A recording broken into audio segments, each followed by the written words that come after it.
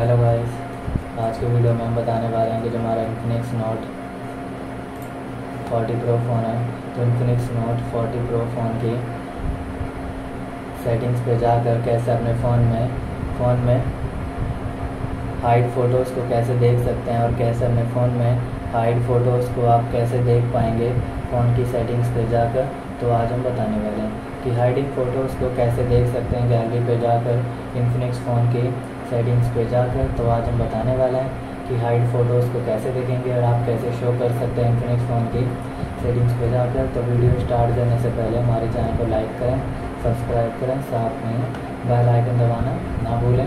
तो video start कर लेते हैं।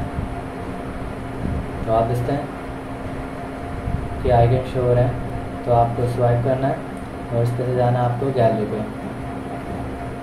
गैलरी पे क्लिक करना है। यहाँ पर गैलरी के बहुत सारे आइकन्स हैं आपके फ़ोन में आ जाएँगे, जिस पर जाकर फ़ोटोज़ वगैरह को आप हाइड कर सकते हैं गैलरी में और देख सकते हैं सिंपली फ़ोटोज़ को देख पाएँगे। प्राइवेट फ़ोटोज़ हाइडिंग फ़ोटोज़ को देख सकते हैं गैलरी पे जाकर। जैसे हमने कुछ ये फ़ोटोज़ हैं, इस तरीके से सिलेक्ट करके हमने हाइड कर दिए हैं। इस तरीके से हमने इनको छुपा दिया है। छुपा दिया है तो आप इनको कैसे देख पाएँगे एंड आप कैसे शो कर सकते हैं अपने फ़ोन में?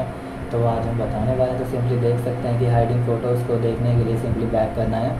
फिर आपको यहाँ पे सेव फोल्डर दिख रहा होगा तो इस पर जाना और इस तरीके से पासवर्ड डालना है।